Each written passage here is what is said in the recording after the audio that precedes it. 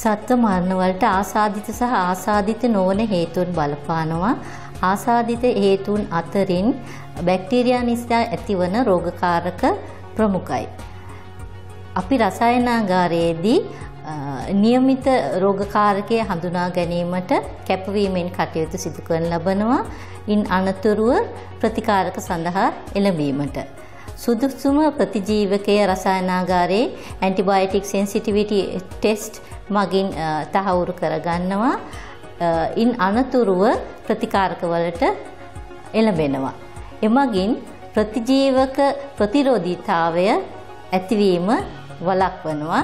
එය අපේ ප්‍රමුඛ රාජකාරියක් සහ වගකීමක් ලෙස පිළි අරගෙන අපි කටයුතු සිදු කරන ලබනවා.